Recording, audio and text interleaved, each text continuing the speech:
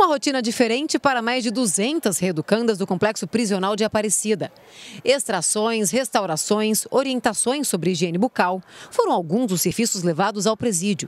A iniciativa, claro, foi aprovada por quem nem de longe esperava essa surpresa. E a gente não imaginaria que ia ter né, essa possibilidade de a gente poder mudar um pouco o sorriso de cada uma de nós.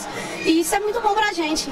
Em uma total demonstração de amor ao próximo, dentistas voluntários do grupo Missão Sorriso se uniram ao Programa Social Universal nos Presídios, o UNP, para ajudar a diminuir o sofrimento da população carcerária. A UNP tem feito um trabalho evangelístico, levando a palavra de Deus em todas as unidades prisionais do estado de Goiás procurando uma mudança no interior das pessoas, uma mudança de vida começando por dentro através da palavra de Deus, da fé inteligente.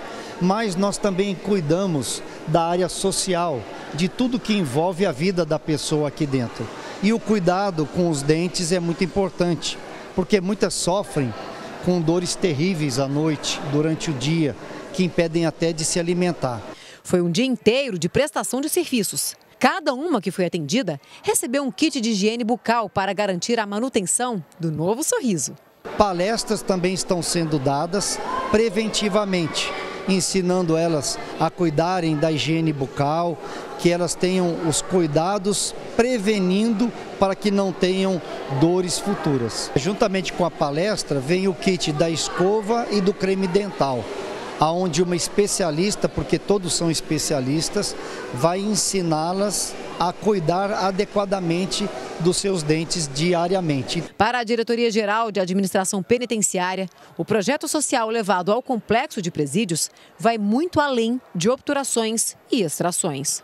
Isso ajuda a diminuir a tensão dentro das unidades prisionais, porque o preso vai observar que ele está sendo atendido. A Diretoria Geral de Administração Penitenciária, juntamente com a Igreja Universal, ela já está estudando outros eventos semelhantes a esse, para que sejam prestados não só para os educandos, como para reeducandos, com a finalidade deles serem reinseridos e muitas vezes deles serem inseridos na sociedade. O trabalho foi mesmo intenso.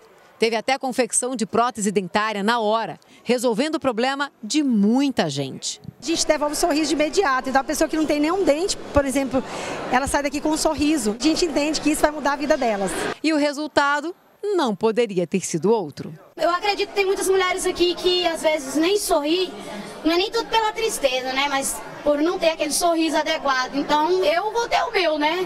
Então vai ser ótimo.